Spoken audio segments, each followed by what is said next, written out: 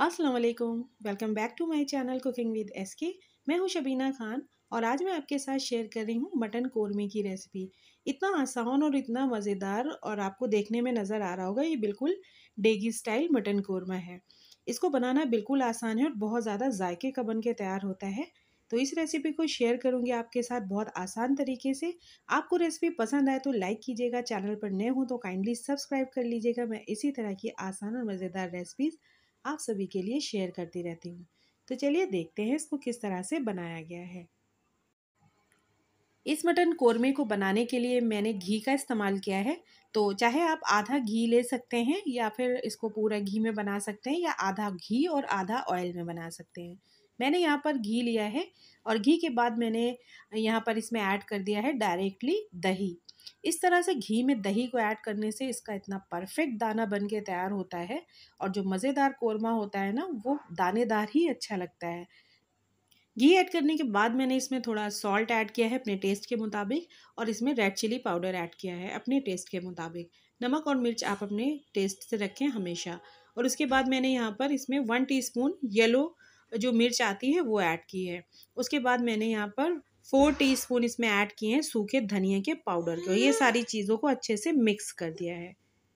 सारे मसालों को अच्छे से मिक्स कर देंगे। इसमें चार चम्मच मैंने अदरक लहसुन का पेस्ट भी ऐड किया है। उसको मैं आपको दिखा नहीं पाई हूँ लेकिन चार चम्मच मैंने इसमें ऐड किया है जो छोटे चम्मच होते हैं हमारे उससे। उसके बाद इसमें डायरेक्टली मैंने मटन ऐड कर दिया है।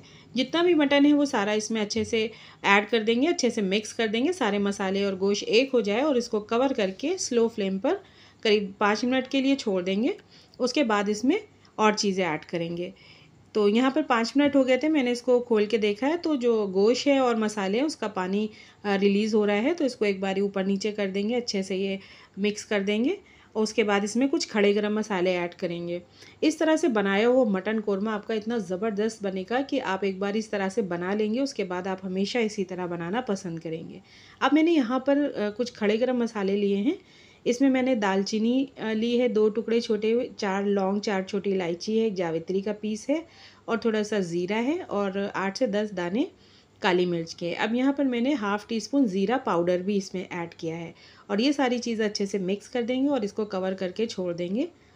अगर आप इसको कुकर में बनाना चाह रहे हैं तो फिर आप उसमें बना सकते हैं। मैं इसको कढ़ाई में बना रही हूँ। उस तरह से धीमी आँच पर पका हुआ ये कौरमा इतना परफेक्ट बनेगा कि आप इसके फ़ैन हो जाएँगे। मैंने यहाँ पर इसमें एक बड़ी इलायची भी ऐड की थी। तो यहाँ पर देखिए, करीब पाँच दस मिनट के बाद ये इस तरह से पानी पानी इसका रिलीज़ हो गया है गोश्त का और दही वगैरह का।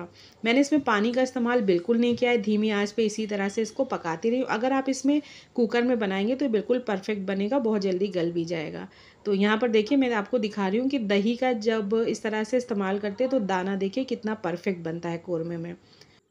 जबकि अभी इस कौरमे में दाने के लिए कोई भी चीज़ें एक्स्ट्रा यूज़ नहीं की गई हैं।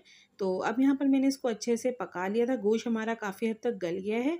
गलने के बाद इसको इसी तरह से स्लो फ्लेम पे पकाती रही हूँ। ऊपर नीचे कर दिया। इसको पकने में करीब चालीस से पैंतालीस मिनट लगे हैं इस तरह से स्लो फ्लेम पे पकने में। अगर आप इसको कुकर में बनाएँगे तो दस से पंद्रह मिनट में भी ये बन के तैयार हो जाएगा। गोश्त गल जाएगा आसानी से और आपका कौरमा बन जाएगा। अगर आप जल्दबाजी में बनाना चाहते हैं तो फिर आप इसको कुकर में ही बनाएगा और अगर आपको आ, कोई जल्दी नहीं है तो फिर आप इस तरह से बना सकते हैं। अब दाने के लिए इसमें चीज़ें इस्तेमाल करेंगे। यहाँ पर मैंने तली हुई प्याज ली थी उसको क्रश कर लिया है और यहाँ पर मैंने लिया था नारियल का बुरादा, जो रेडीमेड बुरादा आता है, उसका इस्तेमाल किया और वन टीस्पून मैंने इसमें होममेड गरम मसाला ऐड किया इसकी वीडियो हमारे चैनल पर अपलोड है। आप चाहें तो वो मसाले की वीडियो आप वॉच कर सकते हैं और उस तरह का मसाला बना के आप अपने किचन में ऐड कर लेंगे। तो बाकी की जितनी भी आप मुगलई डिश बनाएँगे या किसी भी तरह की आप डिश बनाएँगे तो सारे चीज़ों में एक ही गरम मसाला यूज़ करेंगे आप हमेशा। बहुत खुशबूदार, बहुत रॉयल किस्म का मसाला है, आप इसको बना के अपने किचन में ज़रूर ऐड कीजिएगा। तो यहाँ पर मैंने सारी चीज़ों को मिक्स कर दिया है अच्छी तरह से। देखिए, ये स्लो फ्लेम पे अभी भी पक रहा है।